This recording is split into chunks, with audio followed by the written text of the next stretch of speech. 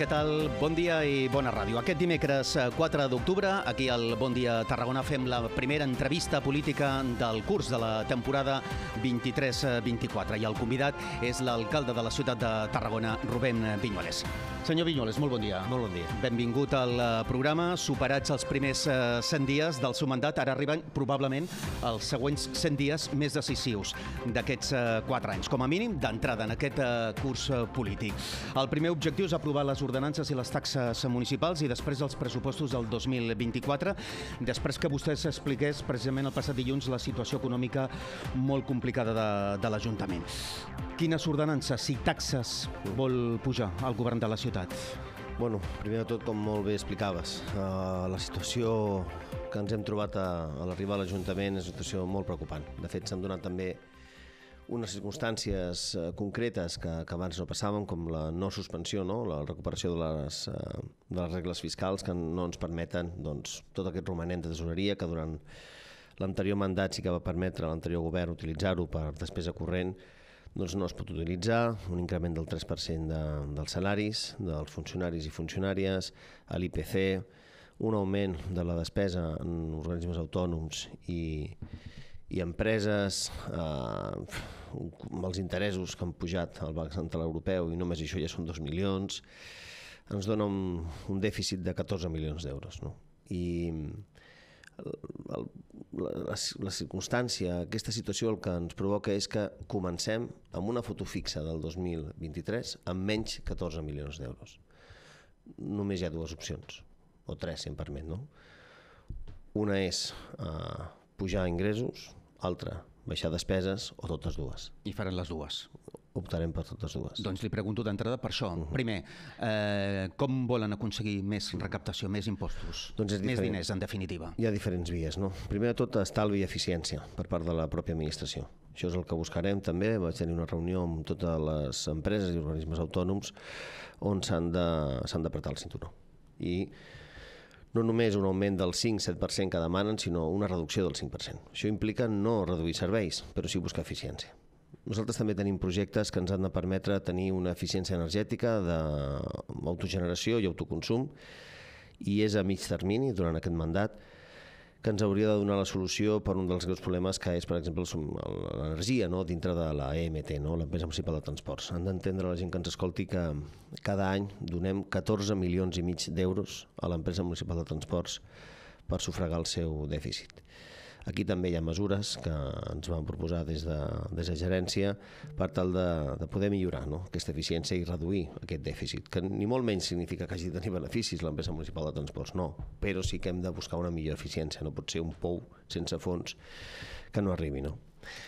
Òbviament, nosaltres valorem una pujada impositiva, uh mhm. -huh. sí, i li puc assegurar que és el que menys li agrada fer a qualsevol governant, a qualsevol alcalde o alcaldessa, i, i menys quan no és fruit d'una mala gestió pròpia. Al final és, portem 100 dies.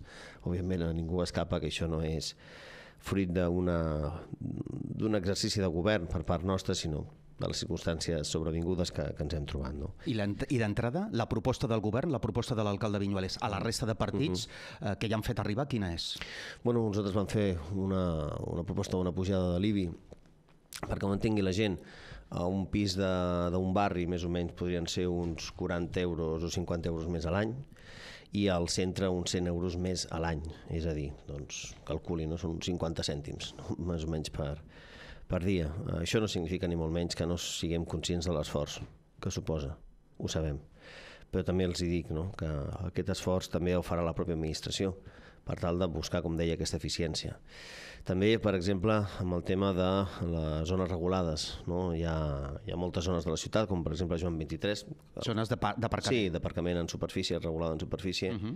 que ara mateix no, no existeix i que en aquest cas sí que és cert que els propis veïns i veïnes ens diuen que millor que es reguli perquè ells no poden aparcar, hi ha gent que aparca allà tota la setmana i vol deixar el cotxe allà tota la setmana no? i això sí que, que ho farem algunes com per exemple també que pugui ser zona regulada a les platges durant el període, el període estival o per exemple pujar no? l'anul·lació de la denúncia de zona blava doncs de 8 a 10 euros no? són algunes de les mesures que, que tenim plantejades, a part de, com li deia, buscar eh, altres, eh, per exemple, bonificacions que a dia d'avui existeixen que potser no tenen massa raó de ser. No? Per exemple, que un Tesla no pagui zona blava, doncs mm, potser fa 10 anys tenia tot el sentit, no? una finalitat tecnològica de, de que fomentar el cotxe elèctric. Ja està fomentat, ja n'hi ha un percentatge elevat i no té sentit que no paguin no? zona blava, doncs això també seria una d'elles.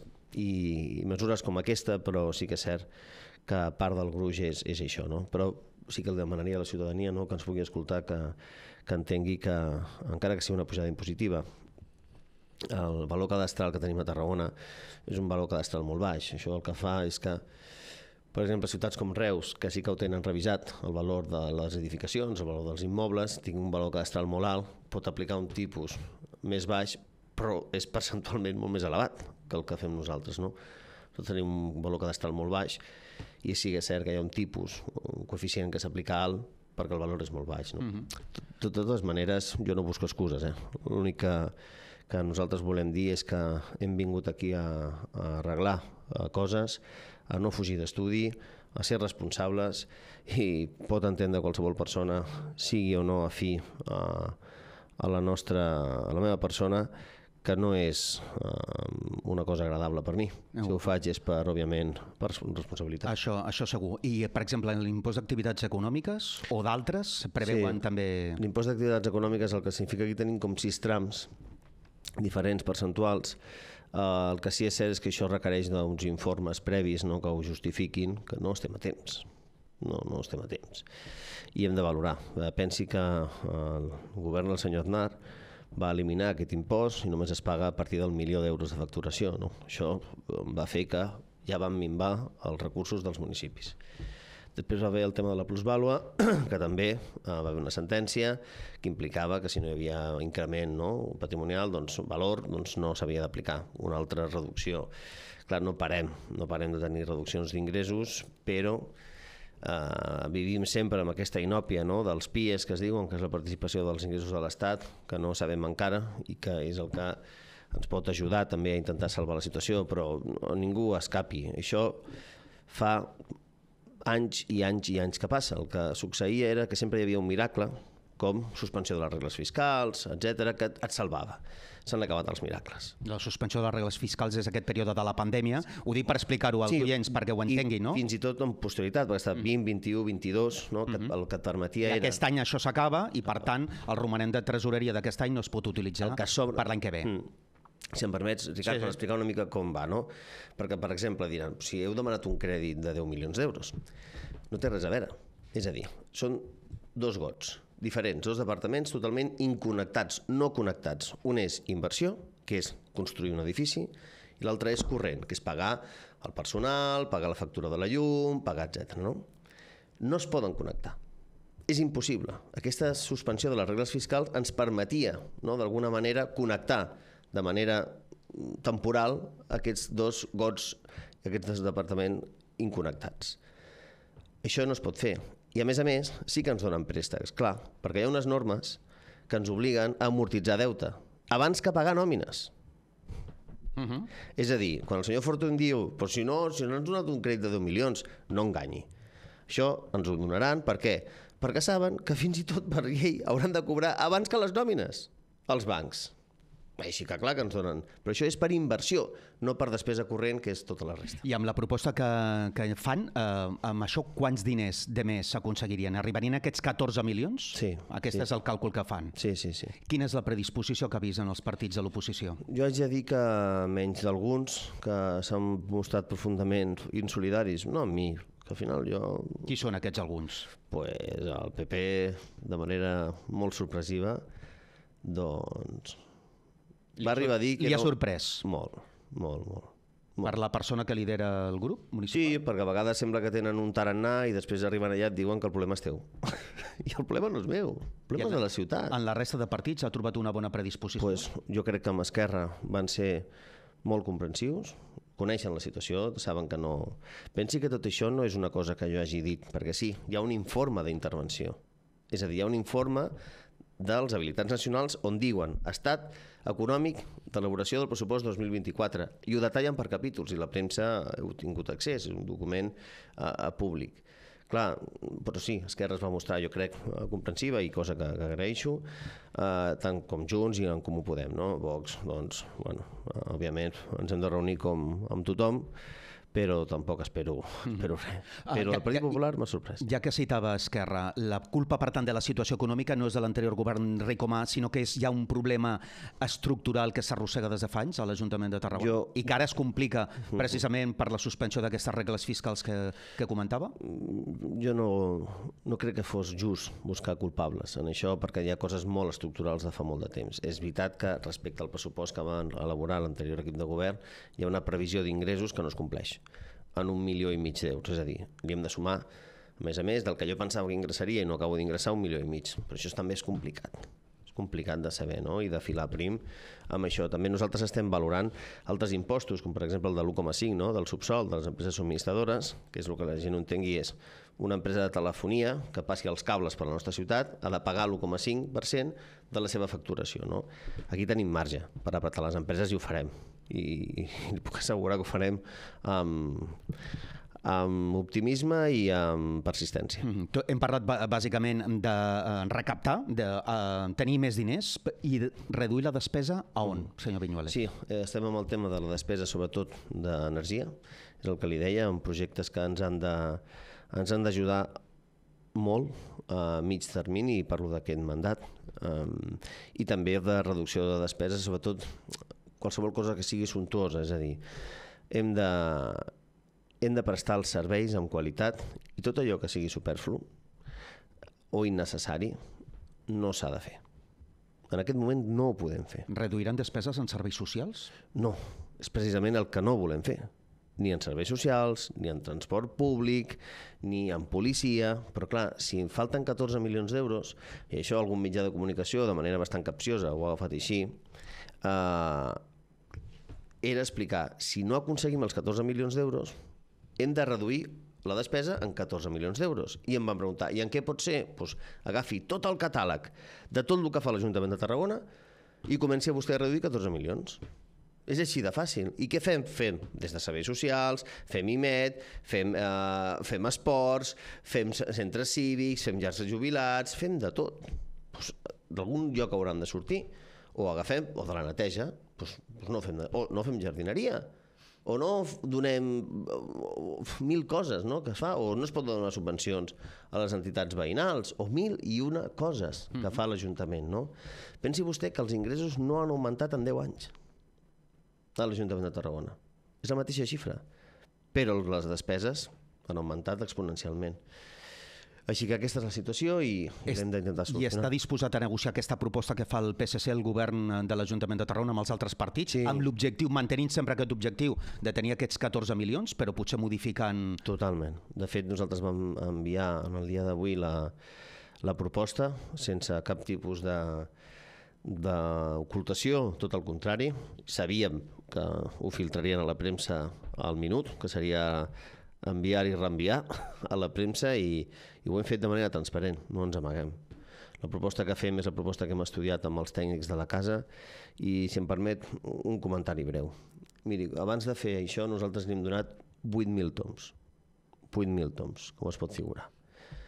Quan un arriba a la convicció que només hi ha un camí, l'únic que pots fer és caminar. I és el que estem fent. Si ens volen acompanyar, salvaran a la ciutat. Si no volen fer, doncs la ciutat patirà. Políticament aspira a rebre el suport en aquest tema d'almenys els tres partits que ha citat, Esquerra Republicana, Junts i En Comú Podem? Sí, espero, espero que sí, però li torno a dir, perquè és un problema no generat per aquest govern, és un problema de ciutat, i això ho deia a la roda de premsa, que és un problema de ciutat que requereix, que requereix no, una, una solució conjunta per part de, de, no, de tot el ventall polític de, del plenari. Mm, nosaltres sí, estem governant perquè som la força més votada, però aquest problema eh, han de pensar si el que volen és quan pitjor millor, potser seran reis o reines d'aquí quatre anys, però d'un desert Eh, cal recordar als oients que això s'ha d'aprovar aquest mes d'octubre mm, uh -huh. i que després han de venir els pressupostos. Uh, a partir de la situació actual, quins pressupostos o quina filosofia de pressupostos uh -huh. creu que ha de tenir el govern de, de la ciutat de, de Tarragona pel proper any? Prioritzar. Prioritzar. Miri, la política és atendre demandes infinites amb recursos finits. I el que hem de fer és prioritzar. Jo tinc clar que vull prioritzar. Serveis públics. Serveis públics i, i via pública, no? Mm, és el que hem de fer. La gent ens reclama això, que la ciutat estigui neta, que la generaria estigui ben feta, que arreglem les voreres, que hi hagi policia, que hi hagi seguretat. Tenim projectes, com li deia, d'aquests dos blocs no connectats d'inversió, tenim moltes coses a fer. La gent se sorprendrà perquè dirà, però si s'estan fent més coses que mai, i ho veurà així, perquè tenim molts projectes eh, encetats i que veuran la llum abans de, del 2026 però a la vegada per dins, si ens fessin una radiografia, tenim una malaltia molt complexa que és la despesa corrent. I aquesta vegada s'han acabat ja les solucions màgiques. Hem de prendre decisions, m'ha tocat a mi prendre-la, i ho faré per responsabilitat, costi el que costi. Les eh, converses que han de ser imminents sobre tema de taxes i impostos municipals i després vindran la dels pressupostos condicionaran segurament o guiaran un possible eh, pacte de govern que ampli l'actual situació en què vostès estan en minoria uh -huh. amb nou regidors dels 27 del plenari? Uh -huh. Doncs miri, a mi m'agradaria pensar que els temes de ciutat mm, no requereixen de fer política barata, no? d'aquesta de dir t'ho dono a canvi de seria una errada. Més que res, perquè al final nosaltres estem de pas tots, eh? també ells. Però la ciutat no. La ciutat ha de permanèixer. I els problemes que té, com li deia, són històrics i poden tenir projecció en el futur. O sigui que vulguin condicionar, ho puc entendre. Però primer anem a lo important i després parlem de lo que vulgui. Però vostè vol ampliar el govern? Nosaltres el que volem és estabilitat. Per tant, però, necessita ampliar el govern. Però vostè em pregunta si creu que això ho, home, si ho, ho lligarà, més no? que condicionarà, volia dir que, home, en funció de com vagi les converses i si s'arriben a uns acords sobre tema de taxes uh -huh. i impostos municipals, sembla més evident no? que pugui haver-hi eh, aquesta ampliació del govern home, per aquesta via. el que sí li dic és que un grup polític que quan venen temps complicats no hi és, és complicat que després uh, tu vulguis que hi sigui al teu costat, no? Descarta el Partit Popular. Home, uh, si el Partit Popular és un partit que en aquests moments el que diu és política barata, de dir no hem de pujar la fiscalitat, quan saben perfectament, ho saben perfectament, que no hi ha altra solució i que tot ho confien a que altres grups diguin que sí per ells quedar, com que són els únics que han dit que no, a una cosa que saben que és necessària, això té un nom. És deslleialtat cap a la ciutat. No sé si està preparada una persona així per governar. Necessita dues formacions polítiques, no una, per tenir aquesta estabilitat al govern. Per tant, descartant el Partit Popular, que queda clar uh -huh. de les seves paraules, eh, queden Esquerra Republicana, En Comú Podem i Junts. Uh -huh. Quina és la seva prioritat d'entrada? Miri, de veritat, això no és un concurs. I perdoni, eh, jo entenc la seva pregunta a nivell periodístic, però m'haurà d'entendre la meva resposta a nivell d'alcalde. Això no és un concurs.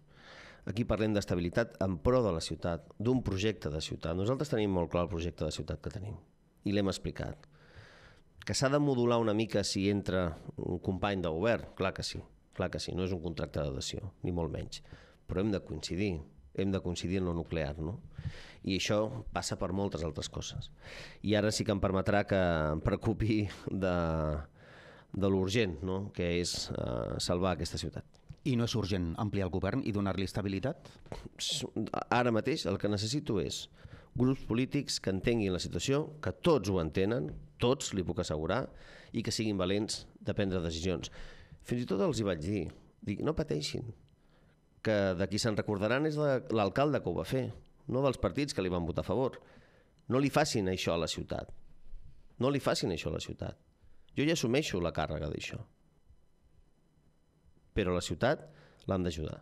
Fins ara, fent balanç els primers 100 dies, qui més li ha donat suport és Junts per Catalunya i el seu portaveu, Jordi Cendra. Uh -huh. Estan més a prop, precisament, en aquest tema de les ordenances municipals o d'una possible entrada al govern? Jo, miri, jo d'entrada al govern, com li deia, és, vaig de fer remissió a la resposta que li he donat abans, però jo personalment amb el senyor Cendra i la resta del seu grup només puc dir que gràcies, eh? Però no gràcies per nosaltres, li torno a dir. Gràcies per la ciutat, perquè ha estat en moments complicats i ha estat. Com la contracta de la brossa. La contracta de la brossa, que durant 4 anys de l'anterior equip de govern va quedar deserta fins en dues ocasions. Nosaltres, el primer ple, la vam portar, es va aprovar i s'han presentat 5 empreses. 5 empreses, que és la solució a un dels gegantins problemes que és la neteja de la ciutat. I el senyor Sendra i el seu grup hi va ser. I podia haver fet altra cosa. No, no, va votar a favor. Va votar a favor. Pues com el que li digui. A mi me sembla que són molt més responsables i lleials a la ciutat el senyor Sendra i el seu grup que d'altres que s'omplen la boca de paraules i no ho fan. Ja que parla del contracte de, de la brossa, era una de les qüestions que li volia plantejar. Mm, ja tenim aquestes cinc empreses. Ara, eh, quin és el procés? S'han obert els sobres ja, uh -huh. estan en període de valoració de totes les ofertes. I quan tindrem una decisió? Bueno, això és el, el Tribunal Law qui ho fa, però segurament...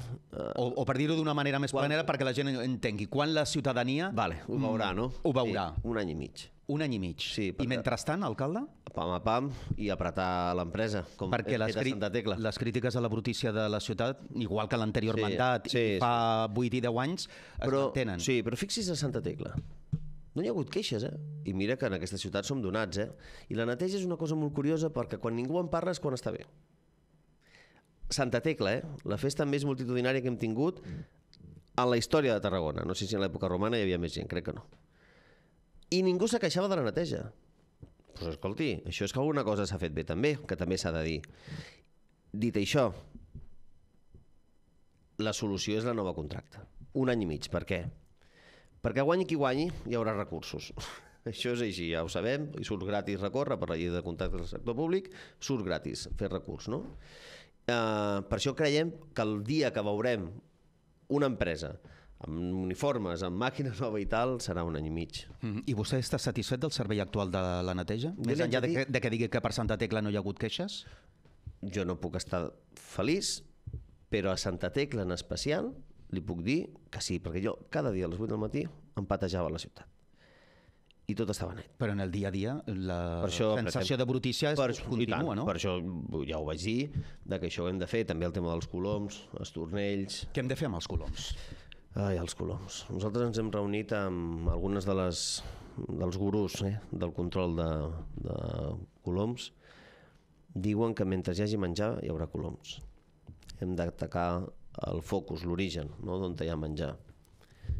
I eh, l'origen, tenint un port que és dels més importants del món, en cereals, gra, etc, doncs tenim un problema, no? Però em consta la bona voluntat per disposició del, president del port, del senyor Saúl Garreta, que amb aquesta taula bilateral que, que crearem entre Port i Tarragona i una total predisposició a col·laborar, perquè és un problema de, de tots. I això, ja et dic, hi ha carrers on dic que es netegi, perquè a vegades no ho poden veure, i el dia, perquè sobretot d'excrements, el dia següent està igual. I s'ha netejat i ha quedat net i polit, no?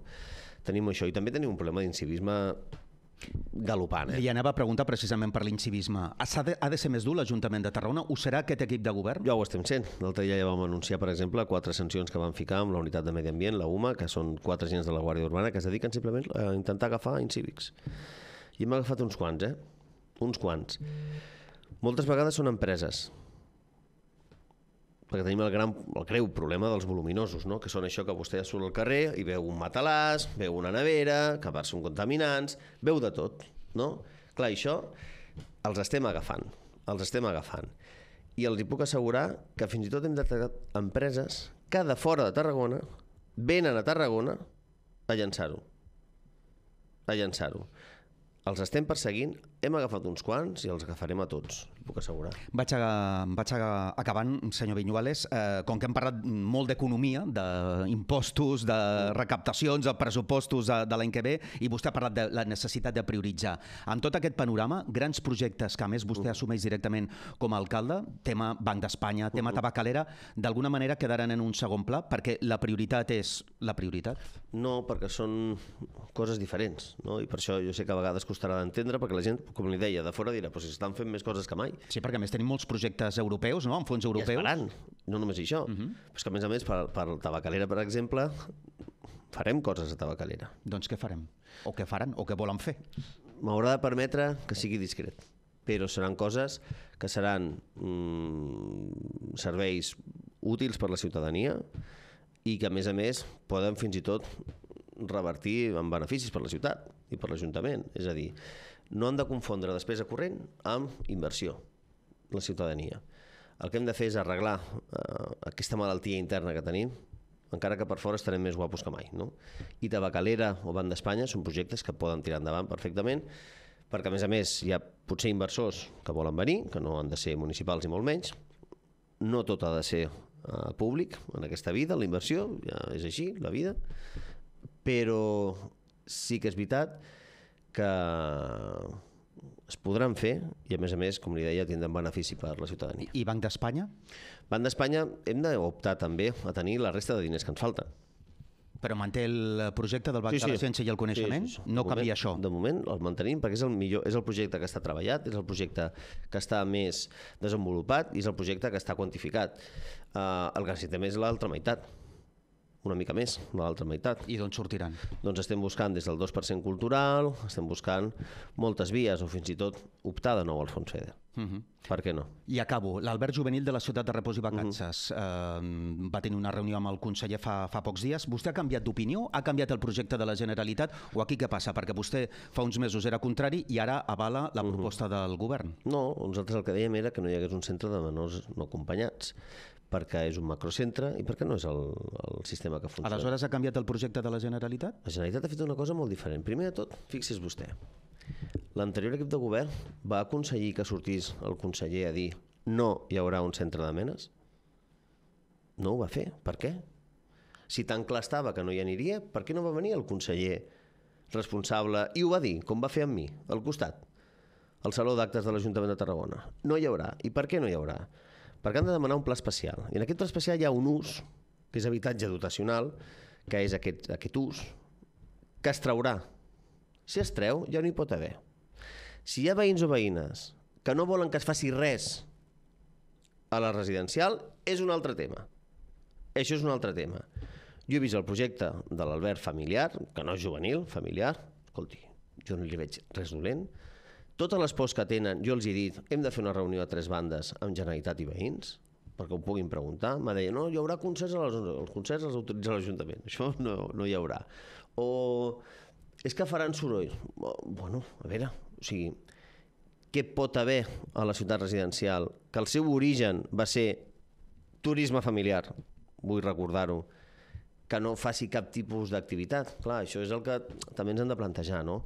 I aquesta inversió de 15 milions es pot recuperar aquest espai i a més a més estem valorant altres opcions per poder també ajudar eh, els veïns i veïnes d'aquell entorn que no tenen cap equipament públic proper, ho estem valorant també amb la Generalitat de poder fer alguna cosa en aquest sentit. Que seria, una mena de centre cívic. Seria inversió, per cert, mhm. -huh. seria després de corrent, no? però que estem valorant també d'això, no? perquè ells puguin... Però clar, el que no podem dir és que és el mateix. No, no, perquè aquella por que hi havia s'ha eliminat, s'ha extirpat fins i tot urbanísticament, no? que és el que ens ha de mhm. donar seguretat. Alcalde, ho deixem aquí, ja portem mitja hora, a més avui hem parlat molt de, de qüestions econòmiques perquè l'actualitat mana, eh, així que moltes gràcies per acceptar la nostra invitació, la del Bon Dia Tarragona de Ràdio Ciutat de Tarragona. Que vagi molt bé, gràcies i fins la propera. Gràcies, Ricard. Avui l'alcalde de Tarragona, Rubén Viñuales, el convidat aquest matí de dimecres aquí al Bon Dia Tarragona.